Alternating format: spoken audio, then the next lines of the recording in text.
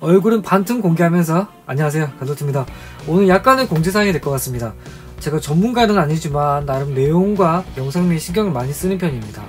자전거 영상도 대충 만들지는 않고요. 하다못해 미니카나 만드는 영상 또 그 중에서 주행 영상 특수샷 같은 경우는 다른 나라에서도 다양하게 사용하지는 못하는 부분을 지속적으로 안정적이게 보여드리려고 노력 중입니다. 사실 이 부분들 때문에 영상 만들면 정말 지쳐서 뻗어버리는데 그동안 라이브 방송을 한 번도 시도해 본 적은 없습니다. 그래서 피곤해서이기도 하지만 기회가 된다면 꼭 해보고 싶습니다. 음, 보통 유튜브에서는 구독자 3만 이상 되시는 분들에게만 오픈을 해주는 멤버십이나 Super Thanks라는 기능을 Thanks 내가나? 음. 저는 그 대략 구독자 3,000명 때부터 가능하게 해주더라고요.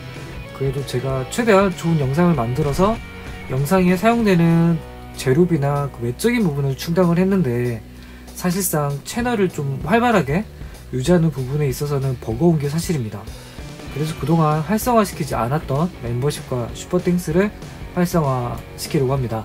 멤버십은 제가 구독자님들 애칭을 애칭을 덜투님들이라고 부르기로 마음을 먹었어요.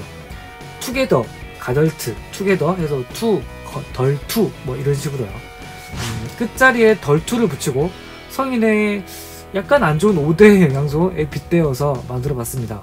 금액은 최고 12만 원까지 설정할 수 있는데 그 부분까지는 제 마음이 조금 편치 않더라고요.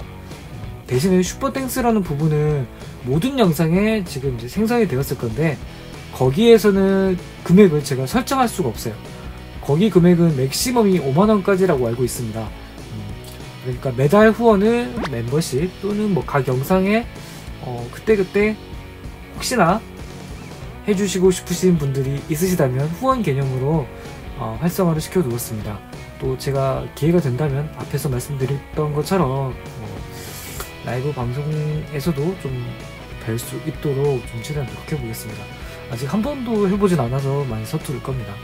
많은 관심 부탁드리겠습니다. 지금까지 가성비 키덜트 가덜트였습니다.